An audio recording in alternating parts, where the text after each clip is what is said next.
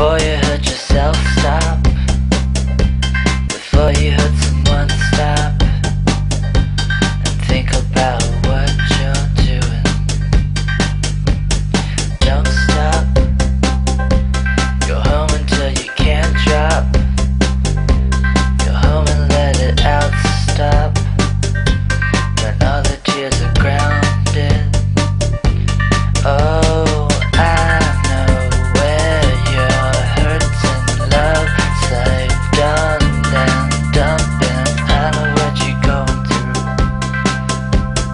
I know what you're going through.